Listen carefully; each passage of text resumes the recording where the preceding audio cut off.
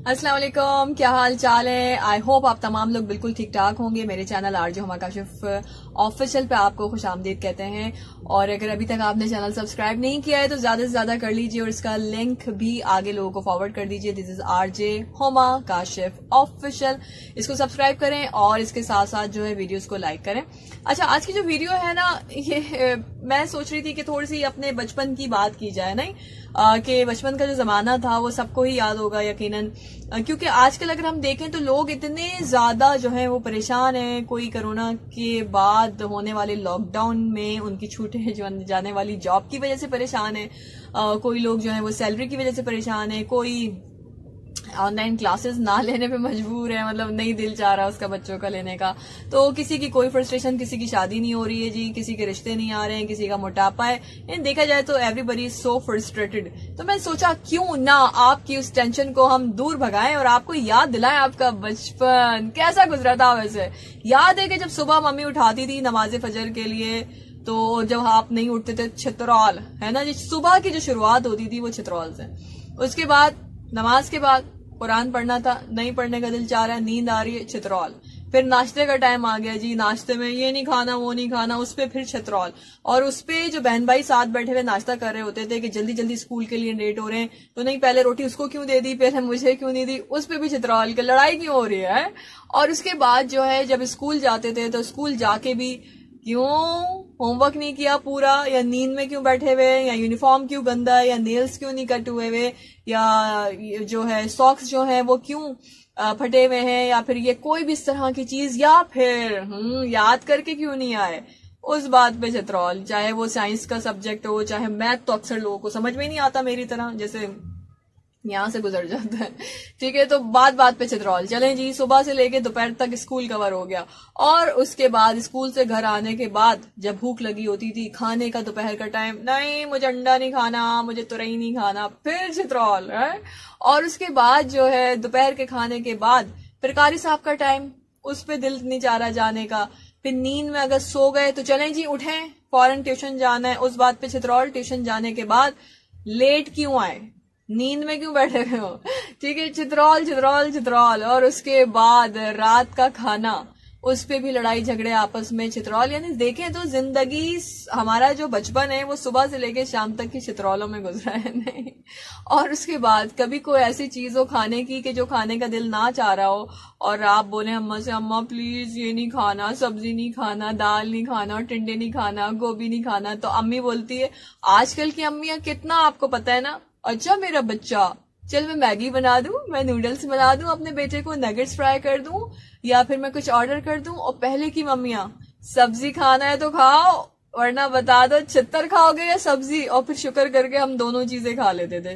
कि पहले क्या छत्तर, उसके बाद सब्ज़ी।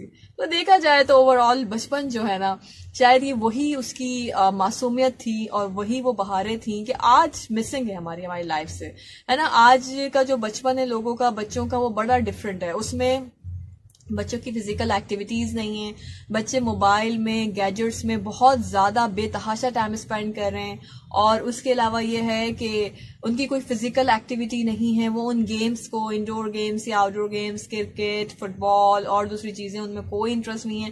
फिर एक अरसे से लॉकडाउन की वजह से स्कूल बंद है तो बच्चों की कोई एक्टिविटी नहीं रही शुरू में करोना मास्क सोशल डिस्टेंस ये सब चीज़ें। और अभी भी करोना एंड नहीं हुआ, अभी भी है, हमें जो है, बहुत सारी चीज़ों को एस को फॉलो करना है। तो देखा जाए तो बच्चे जो हैं, वो हमारे इस दौर के बड़े डिफरेंट हैं, पिछले दौर से। और उसमें जो है, उन्होंने वो सारी चीज़ें फेस ही नहीं की, जो हम लोगों ने की थी। और शायद उन चित्रौलों में वो मज़ा था जो आजकल के बच्चों की ज़िंदगी में नहीं है, वो उनकी ज़िंदगी से मिसिंग। है आजकल के बच्चों को तो माए डांट दें तो दो दो दिन बात नहीं करते, नाराज़ हो जाते हैं, खाना छोड़ देते हैं, भूख हड़ताल कर लेते हैं, और बेचारी फिर माँ जिसने डांटा होता है, वो ही उनको बना रही होती है। फिर अब्बा कहते हैं, खाना है तो खाओ, चले जाओ ना। और कहीं कहीं बच्चे माँ बाप के, माँ के नहीं, बाप के लाडले होते हैं। तो ये लाड प्यार चलता रहता है ज़िंदगी का, ये रौनकें लगी रहती हैं, कहना सिर्फ़ इतना है। कि अपने उस अंदर के बच्चे को हरगिज नहीं मारिएगा कि जो आजकल की इस फ्रस्ट्रेटेड लाइफ में डिसअपॉइंटेड लाइफ में कहीं खो गया है, कहीं मिसिंग हो गया है, अपने उस बच्चे, बचपन के बच्चे को ना मारें कि जो आपको हमेशा पॉजिटिव एटीट्यूड के साथ कुछ ना कुछ करने पे उकसाता रहता है।